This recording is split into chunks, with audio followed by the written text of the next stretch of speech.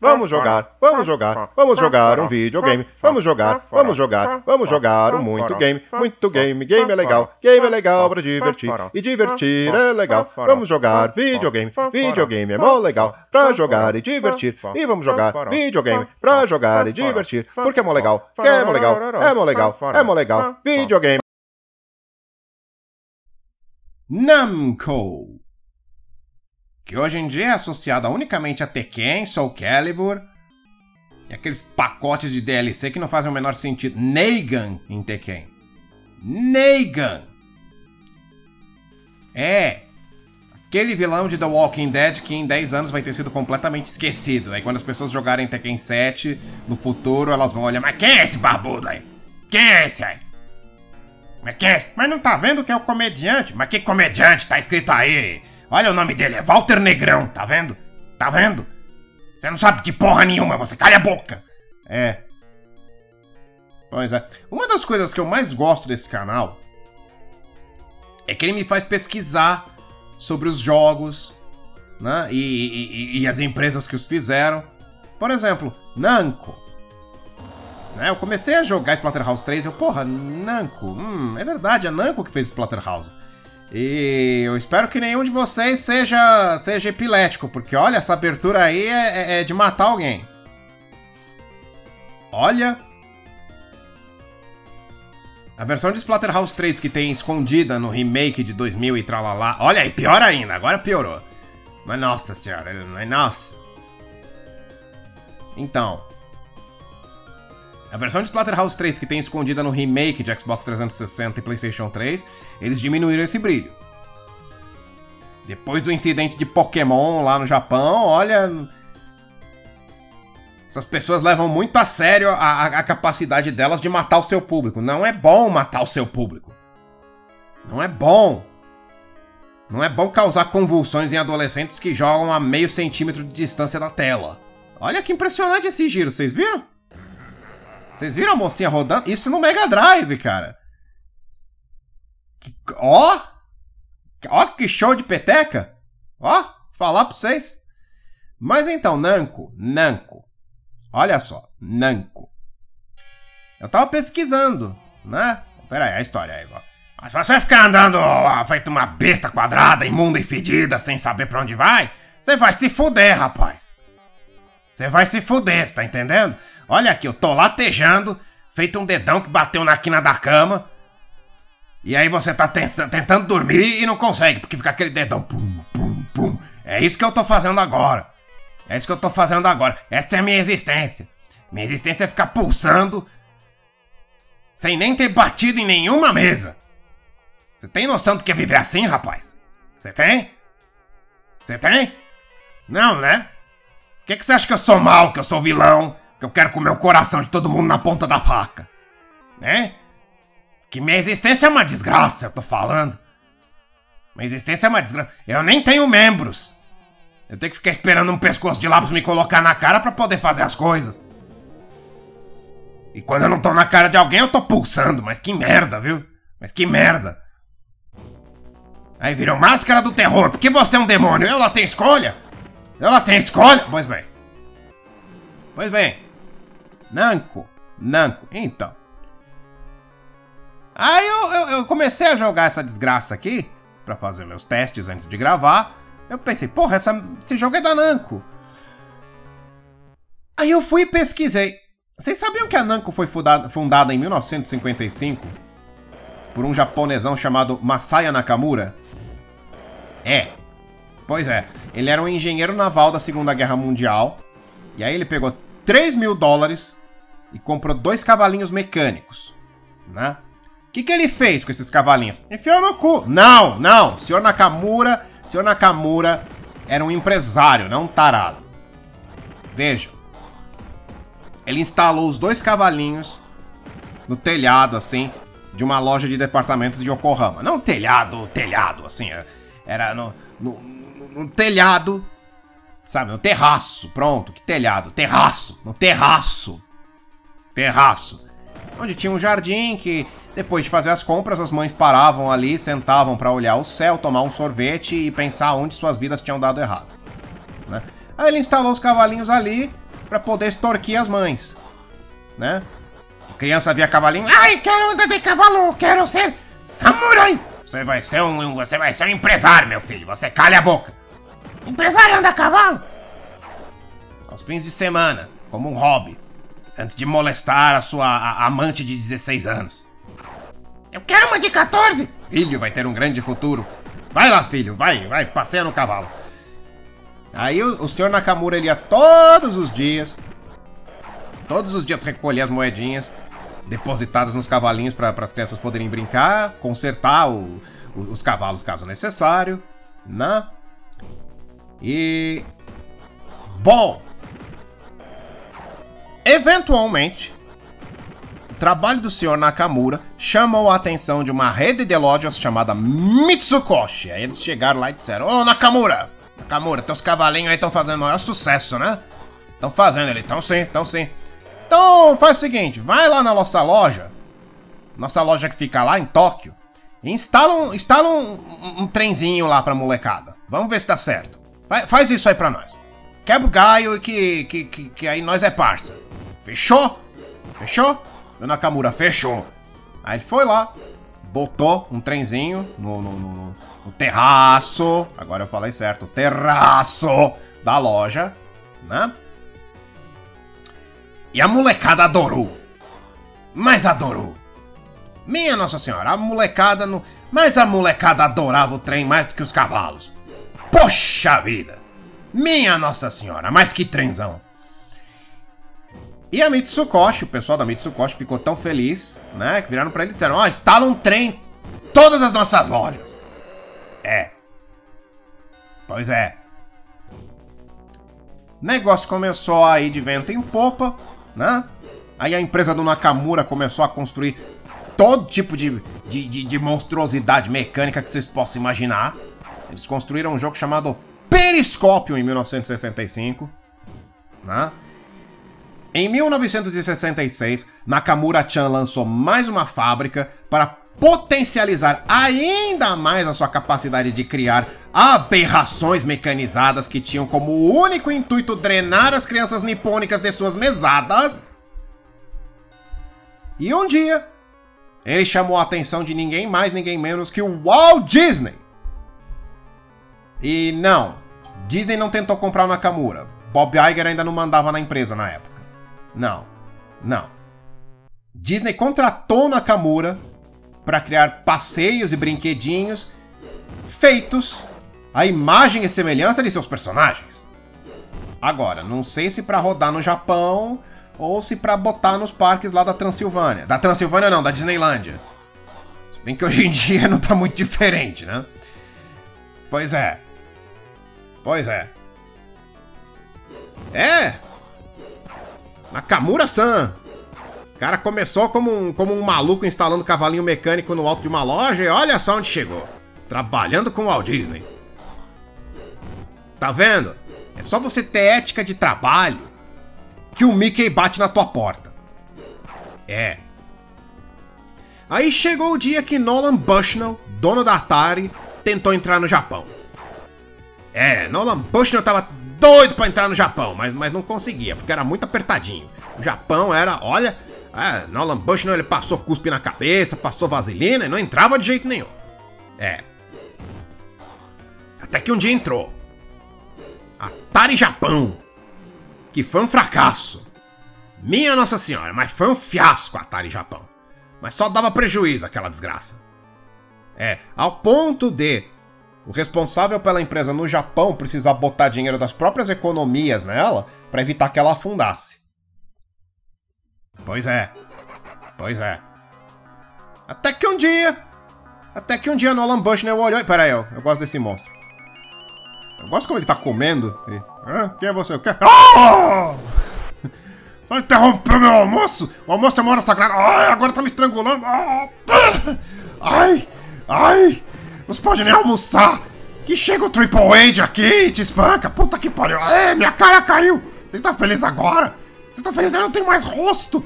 Ai! Ai! Você pare com isso! Ai! Ai! ai não! Um infarto! É. Bom. Bom. Pois é, o Nolan Bush, né? Ele, ele olhou bem pra Atari Japão e disse: Isso aí não vai dar, não.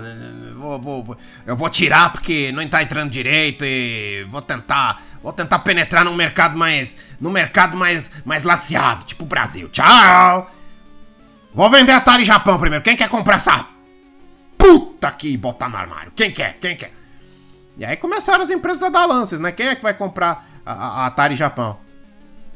A SEGA tentou, mas não conseguiu, e aí o senhor Nakamura olhou e disse: Hum, essa é uma boa forma de entrar no mercado de games. e só com essa risada ele levou a Atari. E foi aí que a Namco, né? Eu não expliquei, né? O nome da empresa de onde veio. P pois é, veja bem, veja bem. A empresa não se chamou Namco desde, desde o começo. Não, não, não, não. A empresa começou chamada Nakamura Seisakusho. É. Eventualmente, o nome foi mudado para Nakamura Manufacturing Company. Manufacturing Company. É. Eu, eu troquei a ordem dos. Eu estraguei tudo, como sempre. Eu estrago tudo nessa vida. Eu estrago tudo. Minha vida é uma desgraça por causa disso. Eu estrago tudo. Tudo, tudo, tudo que eu faço é errado. Pois é. Bom. Aí é, é isso aí. Nakamura Manufacturing Company. Você junta tudo e dá o quê? Namco. É. Tem muito mais nessa história, né? Além do que eu contei. Eu só tô dando um breve resumo da empresa. Mas olha quão longe eles vieram, né? Quão longe veio. Começou com um japonesão instalando cavalinho mecânico no terraço. Ah, no terraço de uma loja de departamentos. Até chegar em Splatterhouse. Olha só. Olha toda a história que essa empresa tem. Olha como, olha como a coisa foi evoluindo. É, e de Splatterhouse, né? veio para o que a gente tem hoje, que a empresa é a empresa tá casada com a Bandai, né? Aí eles fazem acordos com outras produtoras de games para colocar outros personagens em seus games de luta, né? Quer dizer, bom, Soul Calibur, Soul Calibur pelo menos faz mais sentido colocar os personagens convidados que entram no game, né? O Geralt e a 2B encaixam melhor no mundo de Soul Calibur do que o Negan ou o Noctis na porra de Tekken. Gizzy Howard faz sentido, Akuma também, é legal ter esses dois lá, mas. Ah, come on.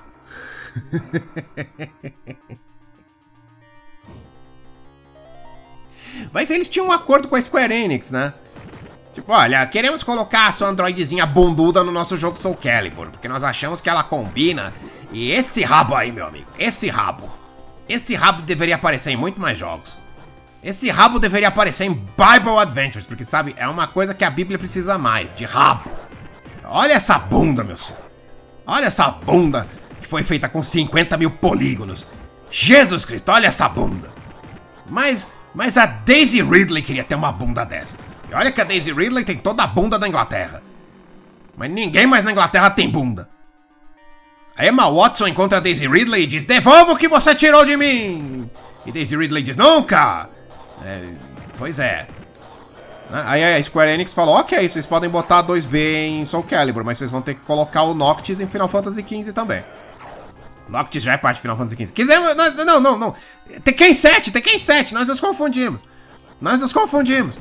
É, é, é isso. E após ver esse tropeção freudiano, não me surpreende todos os fracassos que vocês tiveram nos últimos anos, Square Enix, porque olha. Olha. Tô falando. Bom, olha aí a casa. Pegaram meu bloco de concreto e trouxeram pra cá. Ah, oh, meu Deus! Ai, você de novo! Ai! Ai! A gente estava aqui se preparando para tomar um chá e conversar! E você vem e nos bate, olha! Você arrancou a cara do meu amigo! Você não tem vergonha! Ai, arrancou a minha agora! Não! Não, qual é seu problema? Porque você acha que a violência resolve tudo? Ai, seu monstro opressor ridículo! Ai! Ai! Não passaram! Não! Ai! É. É, Pois é. ah. Ah, não peguei uma, não peguei o cutelo de açougueiro. Não, errei o caminho e não peguei o cutelo. Que coisa. Nossa, eu tinha esse game decorado. Eu sabia onde estava tudo nessa casa. Bom, acho que esse é o preço que a gente paga após ficar mais de uma década sem tocar em um jogo. A gente esquece as coisas. Né? Não, tudo bem. Tudo bem. Vocês já sacaram que isso aqui é um labirinto, né? Vocês já, vocês já entenderam essa parte do jogo. E vamos nós. É. Olha aí, o verme está comendo a Jenny Fonda. Pois é. Acho que é um bom momento para eu explicar o funcionamento de Splatterhouse 3, né? Porque Pra quem só me viu jogar Splatterhouse 1 e 2, isso aqui tá muito estranho, né? Bom, Splatterhouse, os dois primeiros jogos eram dois side-scrollers normais, simplistas, simplórios, né? Que tinham como único chamariz o excesso de violência e o protagonista, que é o maior cosplayer de Jason que já saiu do Japão. Bom. Splatterhouse 3, a Namco resolveu ser competente. Então eles fizeram um, um beat'em up show de bola. É. Né, você, não é simplesmente um joguinho que você segue em linha reta até chegar no chefe e capum. Não. Todas as fases são labirínticas. Certo? Você tem que seguir pelo caminho certo para chegar no chefe. Obviamente, você tem que seguir pelo caminho certo. Se você seguir pelo caminho errado, você chega em lugar nenhum. Sabe onde você chega? No cu da sua mãe! Porra, não consegui salvar a Jennifer a tempo. Merda. Fazer o, acho que vamos fazer o final infeliz, então. Ai, ai, ai, ai, ai, ai. Seu pinto risonho, você matou minha mulher, eu vou te encher de porrada agora. Ah, é, ai, isso me aperta mais que eu gosto. O quê? O quê? Eu vou te dar um pilão. É, um pilão, é suplex. É, ah! Que mania vocês têm de perder a cara com meia dúzia de porrada, amor? Que que é isso? Que é isso? Vocês são fracos, dou dois socos em vocês, você ah, explodiu. Explodiu. Mas não tem resistência nenhuma a dano você, seu puto do caralho. Olha a merda que você fez com a minha casa. É. Oh, acho que eu salvei a Jennifer no fim das contas. Yay! É. Então tá, menos mal. Então vamos lá. Vamos seguir em frente. Esta voz, quem é essa voz, caralho? Quem é essa voz? De quem é essa voz? Eu tô perguntando, porra! Oh meu Deus, é do Davi! Davi, eu estou chegando! Fique longe da Valéria! Valéria só vai te trazer desgraça nessa vida! Ninguém vai entender essa referência, porra, mas tudo bem. É. É. Então, como funciona este jogo? Então, todas as fases são labirínticas, certo? Vocês estão vendo, tem um tempo ali. Olha o reloginho bonitinho. Então, você tem que seguir o caminho certo e matar o chefe antes do tempo se esgotar. Porque se o tempo se esgotar, membros de sua família morrerão. É. Você tem a primeira e a segunda fase para salvar a esposa do Rick e a terceira fase para salvar o filho. Olha, melhor explicar a história inteira do jogo de uma vez. Sabe? Olha só, Splatterhouse 3 se passa 5 anos após Splatterhouse 2. Rick e Jennifer. Rick e Jennifer, os protagonistas da série. Meu Deus, eu acho que eu vou ter que explicar a história da série inteira, porque a, a essa altura vocês não lembram de mais nada, né? Eu sou o único louco obcecado por Splatterhouse aqui, né? Tudo bem, tá. Tá, vocês lembram, né? Splatterhouse 1. O Rick e a Jennifer eram dois parapsicólogos, porque, né, tem gente que gosta de estudar faculdade de desemprego, que foram fazer uma entrevista com o, pro, o professor doutor Herbert West na mansão, a mansão West, que ficava no, no, no alto da montanha, isso, isso mesmo. Porque quando você vai entrevistar um cara que tem o nome de um personagem de uma história do HP Lovecraft, não tem como as coisas darem errado. Não tem.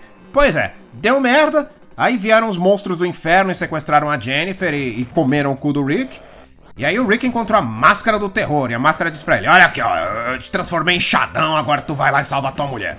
Mas por que você está me ajudando? Para de reclamar, caralho, vai lá e salva tua mulher, você. E aí ele foi e salvou a Jennifer. Aliás, não, não salvou. A Jennifer virou um monstro no final do primeiro, do primeiro filme e, e, e, e o Jason da favela aí teve que matá-la. É. E aí em Splatterhouse 2 ele descobriu que não, a Jennifer não tinha morrido, que ele matou só um monstro que se parecia com ela, que a Jennifer de verdade está presa na puta que eu pariu. E aí lá foi o Rick, botou a máscara de novo e, e foi lá atrás de sua mulher, porque, né? A mão direita já estava calejada e ele precisava de uma nova caçapa para se entreter. É. Pois é. Aí ao final do Splatterhouse 2 ele salvou a Jennifer, jogou a máscara fora e virou um acionista de Wall Street. Eu não tô brincando. Eu não tô brincando. Essa é a história. Essa é a história. De parapsicólogo e, e matador de demônios, o Rick virou um acionista de Wall Street. É. É. Aí ele fez os investimentos certos, né? Provavelmente foi. Foi ele quem recomendou Nakamura comprar Atari. Né? Ficou rico. Rico pra caralho. Casou com a Jennifer. E produziu um filho. E aí ele foi e comprou uma mansão. E ele disse: querida, querida, querida, esta casa me custou os olhos da bunda. Vamos ser muito felizes aqui, querida. não, não foram. Não foram. Claro que não foram. Que olha aí ele socando os capetas, olha aí. Isso parece um homem feliz para você? Parece? Parece? Pois é, não é. Não é. O que aconteceu foi, uma entidade chamada O Maligno, eu não tô, eu não tô zoando, esse é o nome. The Evil One em inglês. É O Maligno, ou se vocês preferirem, O Mauzão. Né? O Mauzão, O Mauzão, ele sequestrou a Jennifer e o David. Né? Aí a máscara do terror apareceu pro Rick de novo e disse: Eric, olha só, voltou, né, filha da puta? Me jogou na bosta ao final de Splatterhouse 2, agora precisa de mim de novo, né? Pois é, tô sabendo, tô sabendo. Desculpa aí, cara, não queria te jogar fora. É, né? É, só volta quando precisa de alguma coisa, né, seu filho da puta? Tudo bem, tudo bem. É, que é... É, você de novo. Ai, eu estava mostrando meus troféus pro meu primo. Ai, troféus de caçada, meu, o que que é você, um vegano? Ai... Ele não arrancou minha cara de novo! Pare de ficar arrancando a cara da minha família! Que vergonha! Você. Você me dá nojo! Ah, que. Ai! ai! Ah. Bom. Aí o Rick botou a máscara e saiu pela mansão, né? Pra resgatar a família. Mansão essa que ele deve estar lamentando ter comprado agora. Ele, pô, porque eu não comprei uma kitnet? Ia ter só um quarto para investigar. Mas não, essa mansão de 800 cômodos, puta que pariu. É. E bom, é isso, ele tem que vagar pela mansão, encontrar o caminho certo até o chefe e matá-lo antes do tempo acabar, porque se ele não fizer isso, Jennifer e David viram Sarapatel. É. Ah, aliás, o, o, o David ele tem poderes psíquicos. E é por isso que o mauzão precisa dele. Ele precisa do David para fazer um ritual de alguma coisa, para algo que vai realizar outra coisa. E ele vai ter lucro no processo. É, assim que funciona. Né? Olha essa parede tomada de carne do satanás. Olha, olha isso. Olha isso, cara. Rick deve estar tá, deve tá puto com prejuízo. Não é à toa que ele tá espancando esses monstros com tanta fúria. Cinco anos de, de economia gasto nessa casa. E agora ela parece um x kebab que ainda não foi pro forno. Seus filhos da puta. Seus filhos da puta, mas eu vou matar todo mundo. Eu vou matar todo mundo. Caralho, é. Coisa. E lá vai. Vai ele, cheio de estoicismo e cantinflas. Sua máscara de caveirão. É é- essa foi a primeira vez que a máscara do terror ganhou um design novo, oficial, vindo do Japão. Né? Splatterhouse 1 e 2 é uma máscara de hockey. É, obviamente é, é, é o Jason. Obviamente. Bom, dizem que a cópia é a forma mais clara de adulação. Então os criadores de Splatterhouse amavam a série Sexta-feira 13. Né? Bom, meu Deus, o quarto do Davi está vazio, mas cadê esse putinho, caralho? Porra! Mandei você pro seu quarto e não saí dele nunca mais! Bom, pelo menos até completar 18 anos e tu me desobedece. Tá aí esse porra. Então por que, que a cutscene disse que o quarto tá vazio, caralho? Vou ter que socar o narrador também? Porra, é diabo. Claro que. Porra! Tem que bater no urso de pelúcia. Eu devia ter te dado Transformers. Brinquedo muito melhor não. Te dou um urso, agora tem que espancar o urso, caralho. Escuta, você tava morando dentro do urso do meu filho esse tempo inteiro, seu bicho imundo. Bicho desgraçado. Que é isso? Vou processar a Rap por me vender um ursinho cheio de ácaro. Diabo é isso? Não é certo. Não é certo vender um, um, um bicho infectado pra um homem. Dá pra uma criança, não é certo. Um bicho repulsivo, imundo, grotesco. É, exploda em mil pedaços. Coisa horrorosa, caralho. É, isso. É. Pois é. Caralho, cadê o David, porra? Ele é a chave. Pra, pra perna, pra pedra preta. Você disse perna, é uma perna. Que também é uma pedra. Uma pedra no formato de perna. Mas você só tá querendo encobrir teu erro gramatical. É, ah, tomar no meio do seu cu. Tomar no seu... Se quiser, eu pulo da tua cara agora. Aí tu vai salvar tua família com esse teu pescoço de lápis. Vai, vai.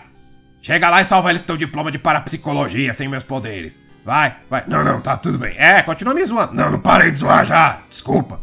É. Então, os aldeões colocaram magia negra no mundo. Racistas. Deixa pra... Para com isso.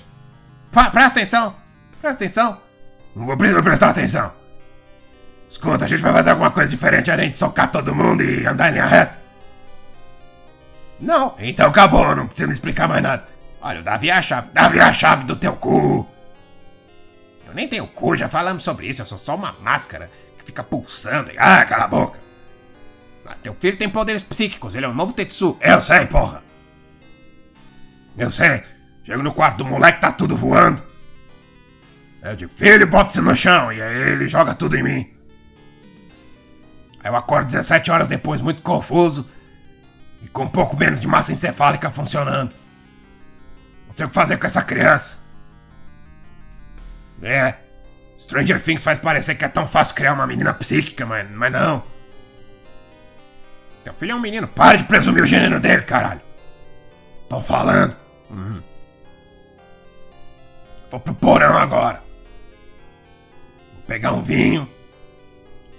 Umas torradas. Vou relaxar e esquecer toda essa merda. Bosta de família só me dá dor de cabeça. Eu devia ter abortado. Homem não aborta. Cada punheta é um aborto de milhões de futuros filhos. Eu nunca tinha pensado nisso. Pois é. é. Pois é. Por isso que você é só uma máscara. Eu nem sei o que isso quer dizer. Eu também não, só estou falando coisas. Bom, é, enfim. É. Ai, ai. E vamos nós. E eu descobri Splatterhouse 3 graças à revista Ação Games. Lembra dos comerciais? Um projeto de supla de cabelo todo espetado e roupa de astronauta.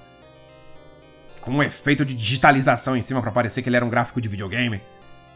E a música tocando no fundo. Ação Games, a revista pra você que é fera. Onde eles pensaram que isso ia agradar a molecada da minha geração? Os moleques de 11, 12 anos que já falavam mais palavrão do que um traficante de boca do rio. Saiu esse comercial. No dia seguinte, a molecada toda na escola tava Ação Games, a revista pra você que é merda. É. Cara, eu sou da geração que cantava Turma da Puta. Tinha a música da Turma da Xuxa. Era Turma da Xuxa! Ah! Turma da Xuxa! Esse era o refrão. E a molecada da escola cantava Turma da Puta! Ah! Turma da Puta! É, é, é. Os moleques de 8, 9 anos cantavam isso. Moleque de 8, 9 anos.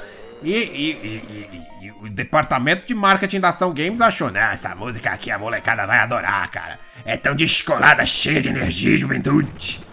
Porra! Não! Não! Ó. Mas é, a revista Ação Games. Eu um, um, um dia comprei a revista e tinha um chadão com um machado na capa. Exatamente a mesma imagem da thumbnail desse jogo. Tava na capa da revista. E é claro que eu tive uma síncope. E depois uma quádruple. Que, meu Deus, Splatterhouse 3, puta que pariu. Que que é isso? Ah, meu Deus, tô até de pau duro, não é possível. O dono da banca tá me olhando feio, achando que eu quero comer ele, mas não, eu quero jogar esse jogo, meu Deus do céu. É, porque eu era obcecado por Splatterhouse na época. Eu era obcecado meus 10, 11 anos, eu, nossa, louco por filme de terror, que decorou todas as cenas de todos os filmes da série Sexta-feira 13. E aí um game de um parrudo que parece o Jason, só que da justiça. Mas é lógico que eu ia ficar doido por esse game. Mas eu era obcecado por Splatterhouse 2. Nunca terminei por meios honestos, mas ainda assim, eu, eu amo aquele jogo. Amava e ainda amo. Splatterhouse 2 é a Mariana dos games, a paixão da minha juventude, pela qual eu ainda nutro muita luxúria. Pois é. Aí eu vi Splatterhouse 3. Né? Ai meu Deus! Você de novo! A gente não pode me pegar um vinho aqui! Meu Deus do céu, deixa a gente em paz! É! Você matou meu pai, meu irmão e meu tio! O que você quer agora? É, já foi minha cara de novo! Mas que barbaridade! Esse será o destino de toda a minha árvore genealógica! Ser morto por um bruto, violento! Ai! Ai não! O que? O que você quer de nós? O que você deseja? Por que não nos deixa viver em paz aqui? Ai! Ai! Ai! Não, não, não! É, bom. É, tô perto. Pois é, mas é, a revista Ação Games, né? Aí eu vi lá que. Eu vi.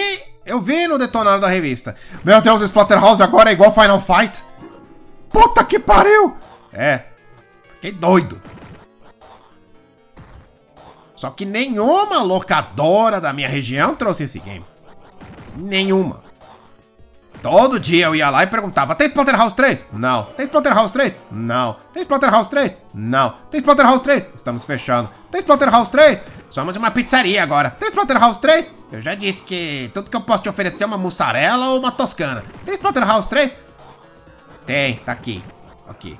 Isso não é, isso não é Splatterhouse, isso é uma toscana. O que eu disse agora há pouco. Bom.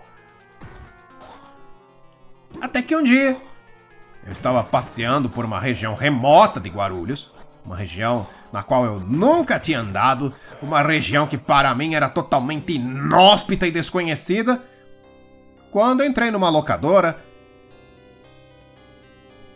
que eu nunca tinha visto antes. Sim. Parecia que eu estava sendo guiado para essa locadora.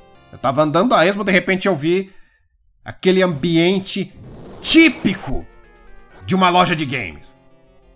Jovens fedidos jogando games no Playtime, no, no Playtime, Play Game. Vocês sabem, né? Aquele negócio de pagar uma hora e você joga. Pois é. Jovens fedidos, cobertos de poeira de Doritos, jogando joguinhos de consoles que eles não tinham. Eu adentrei a loja e comecei a ver as prateleiras de jogos. E lá estava Splatterhouse 3. Eu pensei, ok, preciso ser cliente dessa loja. Eu fui até o balcão, né, e perguntei. E fiquei esperando para ser atendido. E de repente, quem que aparece? Uma Milf Araara. Sim, essa foi a primeira vez que eu entrei na loja da, da Milf Araara, aquela que eu falei que tentou me seduzir em minha juventude e, e, e que eu não percebi os avanços até ser muito tarde. É, pois, pois é, pois é. Pois é.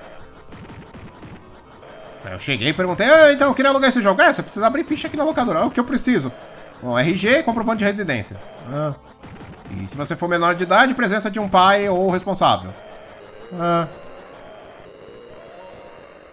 Bom, eu arrastei minha querida mãezinha até lá.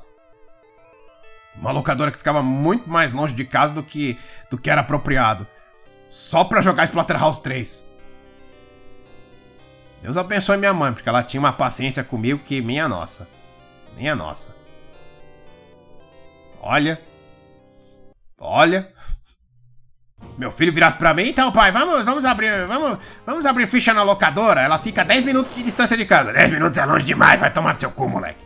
Vai ler um livro, ficar jogando videogame aí. No livro você adquire cultura, conhecimento, coisas que você pode usar pra impressionar mulheres. Locadora, você vai virar um incel, vai ficar, viver cercado de homem gordo, fedido, suado. Se eu soubesse na minha juventude o que eu sei hoje da vida, tudo teria sido tão diferente. Bom, pois bem. Milf Ara.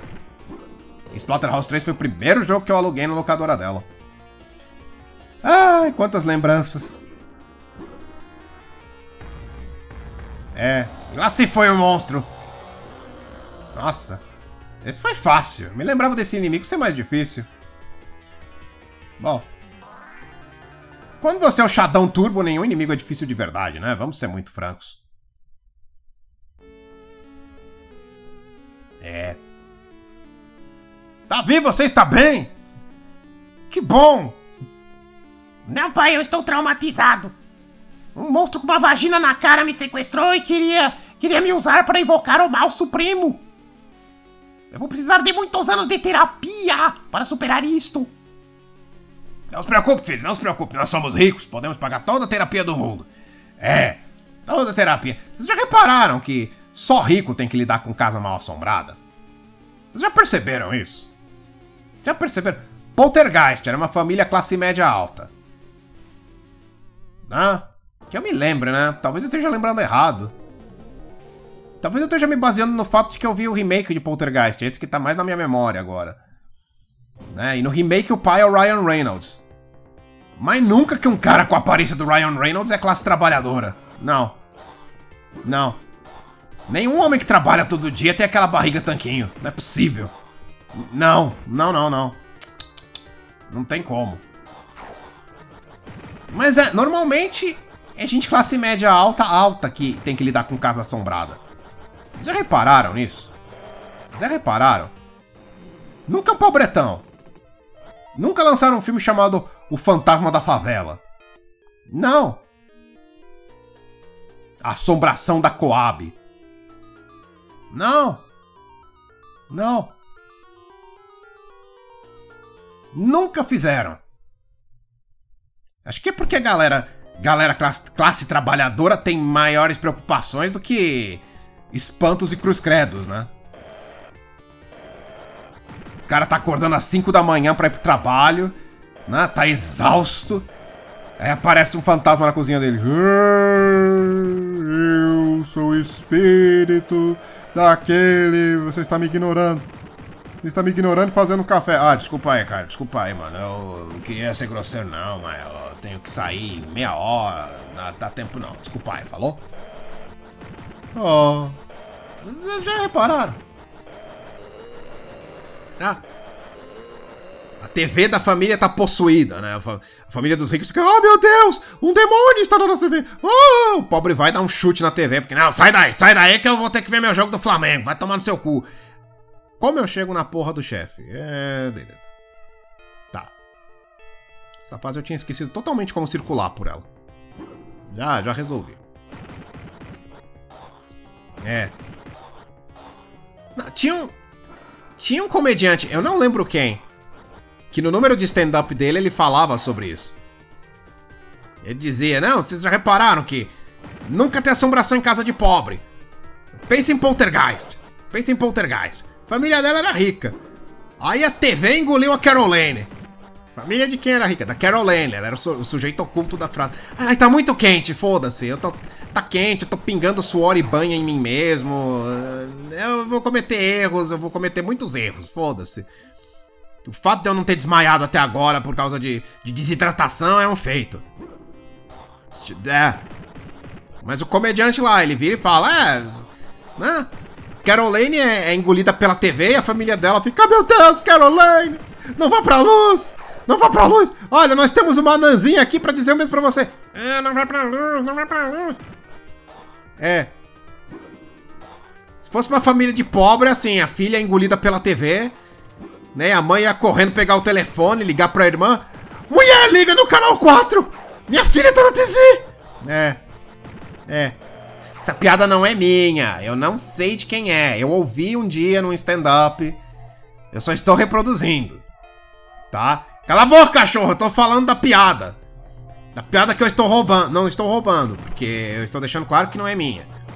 Só não posso dar o crédito porque eu não sei de quem é. Se algum de vocês tiver alguma ideia de onde veio essa piada, por favor, me avise.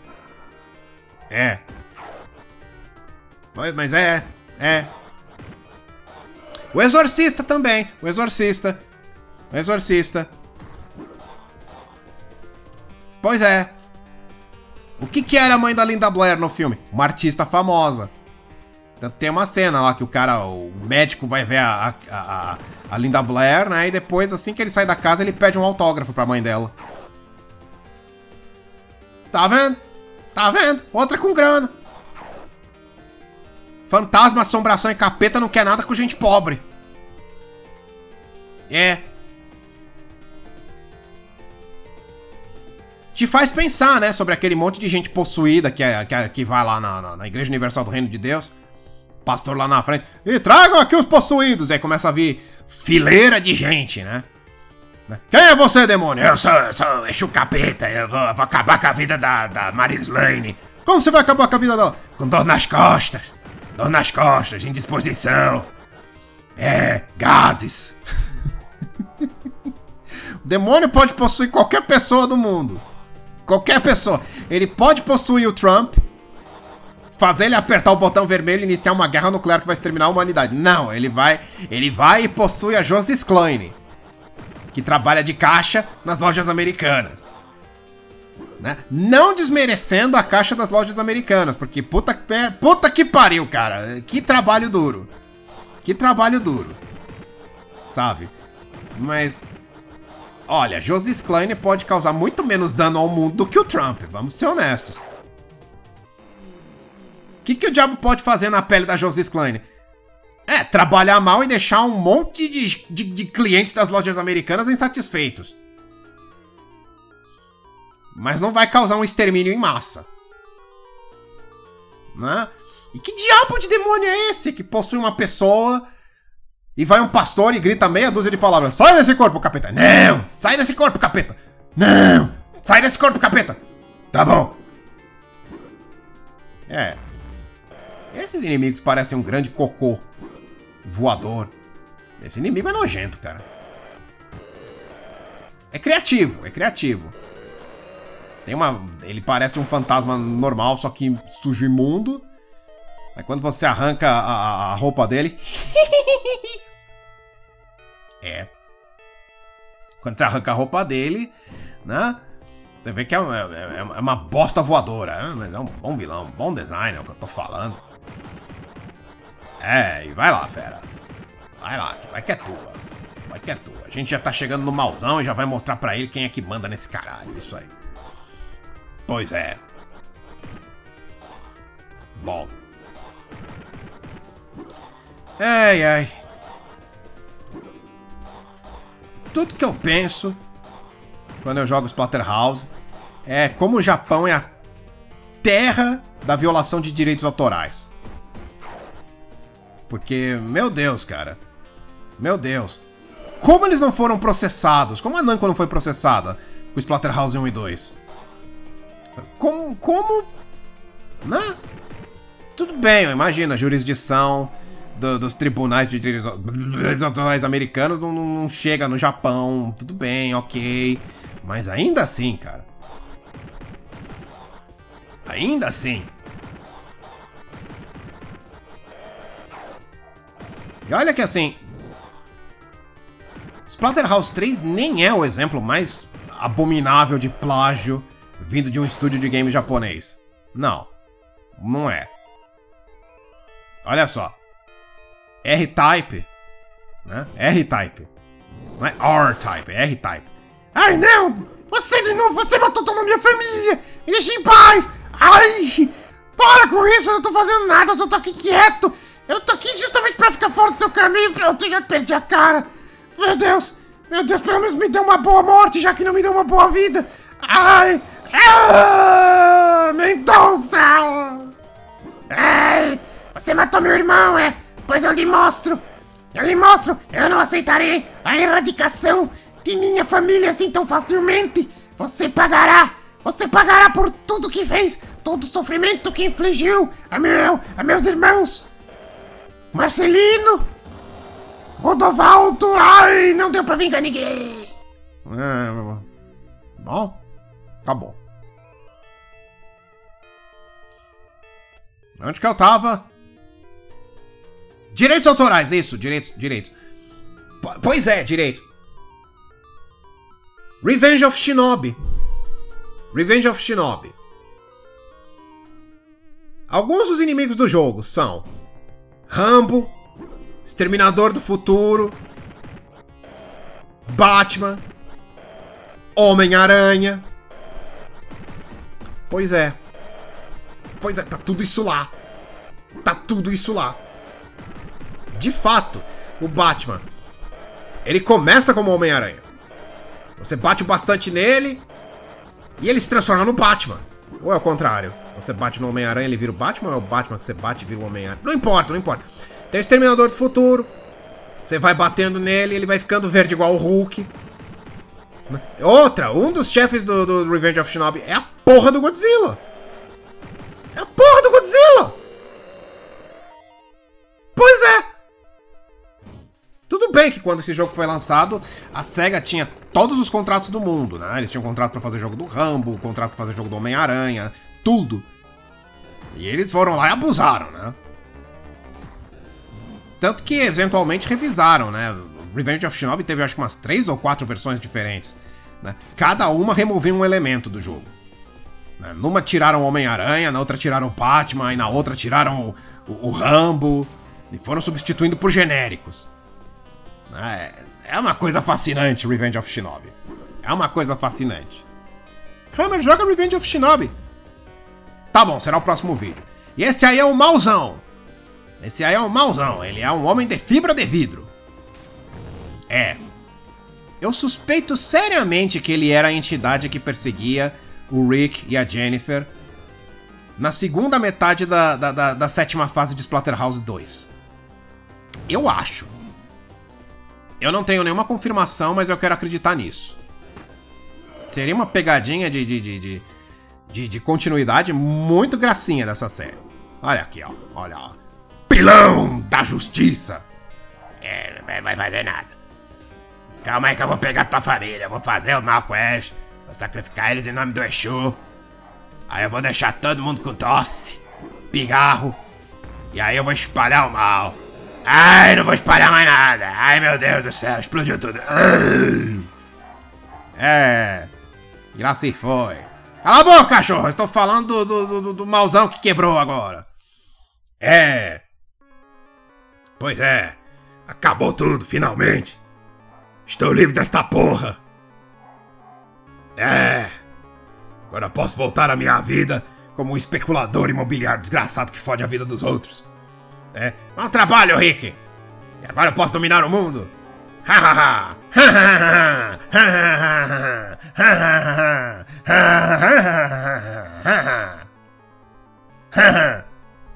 Oh meu Deus! O quê? Oh meu Deus! A máscara do terror que foi esculpida por um culto maligno séculos atrás, feita de osso humano e que traz poderes inimagináveis e que saber tudo sobre as criaturas do inferno e das trevas. Essa máscara é má, quem diria? Oh meu Deus, estou choquito! Ah! E aí o espírito da máscara saiu do, do, do, do Rick juntou-se aos restos do malzão e olha só que beleza. Ó que beleza. Ok, eu tenho muitas perguntas. Se a máscara. Se o espírito da máscara abandonou a máscara, e consequentemente o Rick, como é que ele ainda tem poderes? Como ele ainda tem poder? Nanko, você nunca explicou isso. Você nunca explicou isso, Nanko? Nanko, eu exijo uma explicação. Tudo bem, 20. Olha aí, virou um cabeção. 20 anos depois do lançamento desse jogo, eu quero uma explicação, Nanko. Eu sou um de seus clientes mais fervorosos. Eu, eu joguei todos os seus games nas últimas, nas últimas duas décadas. É, joguei até Pac-Man quando ninguém mais ligava pra ele. Ninguém, eu fui lá jogar. Olha só, eu quero, eu quero saber. Eu quero saber, Nanko. Eu não quero aquele remake troncho. Eu quero saber como. Me explique. Vai lá, fera. Pronto, lá se foi. Ai! Pois é, acabou tudo. Acabou tudo. É. Ai, não posso ver, não posso ouvir. Estou morrendo. E tá morrendo mesmo, porque a gente nunca teve Splatterhouse 4. Então esse é definitivamente o fim da série. É. Ai! E lá se foi. É. Que maravilha. O mal foi vencido. E um novo dia surgiu. Beleza, maravilha. O céu está limpo e azul. Azul!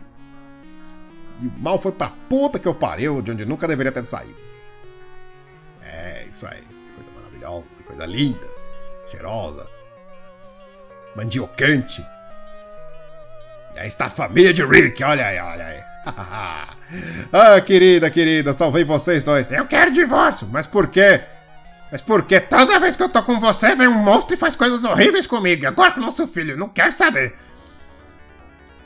Vou me separar de você e vou pra Austrália. Lá tem sapo cururu, mas pelo menos não, não, não tem abominações das terras. Das trevas. As trevas ficam na terra, então. Sapo cururu deve comer tudo. Foda-se essa merda, já disse. É. E, e sim, esse jogo tem três finais infelizes. É. Se eu deixar a Jennifer morrer, se eu deixar o David morrer ou se eu deixar os dois morrerem. É. Por algum motivo, eu acho pior o, o final onde a gente só salva a Jennifer. Porque aquela coisa, como chega pra esposa e diz, então, querida, não consegui salvar nosso filho. É. Né? Pois é, vamos ter que os dois viver agora com essa dor e saber que o nosso garoto nesse momento está sendo cagado por algum monstro. É, pois é. Porque veja, no final onde morrem os dois, o Rick só tem que, o Rick tem que lidar com a culpa e com a solidão. Mas no final onde ele salva só a Jennifer, ele tem que lidar com a culpa, com a falta do filho e com uma esposa que agora vai ficar esquizofrênica e deprimida. É. Pois é.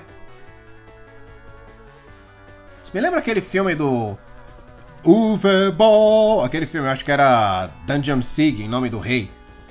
Que o herói é o Jason Statham. Aí no começo do filme, o vilão, Ray Liotta, que as cenas que ele aparece deixam bem claro que ele queria estar em qualquer lugar, menos ali. Ray Liotta sequestra a mulher do Jason Statham e mata o filho dele. O filme inteiro eu fiquei pensando, porra, a hora que ele resgatar a mulher, ele vai ter que explicar para ela que o filho morreu. Isso não é um reencontro feliz. Narrativa básica, você mata a esposa e salva o filho. Dito e feito, tem a cena que ele encontra a esposa e diz: Querida, querida, nosso filho morreu é tão desesperançoso. E não é pro filme ser desesperançoso, é por incompetência do Uwe É, Jesus, viu? Enfim, esse é o fim, acabou. Não tem mais Splatterhouse aqui. Tchau, mês das bruxas! Oh, parabéns. Muito obrigado, muito obrigado pelos parabéns. Agora vá pra puta que eu pariu, junto do mal. É, não saia de lá até a hora do jantar. Obrigado por assistir a mais este vídeo. Eu espero que você tenha gostado. Se você curte meu trabalho, não deixe de me seguir no Facebook e no Twitter. Olha os endereços aí na tela. Para quem gosta de ler, dá um pulo lá no meu blog, o blog do Hammer, que está no ar há mais de 10 anos, já conta com mais de 500 artigos e eu tenho certeza que você vai encontrar alguma coisa lá que vai te fazer rir muito. E para aqueles que querem demonstrar seu amor de forma financeira, dê um pulo na página da Hammer Network no Padrim. Com uma colaboração mensal, você ganha acesso a um monte de recompensas legais que os meros mortais nunca terão. É isso, pessoal. Obrigado por tudo e nunca se esqueçam, eu amo vocês!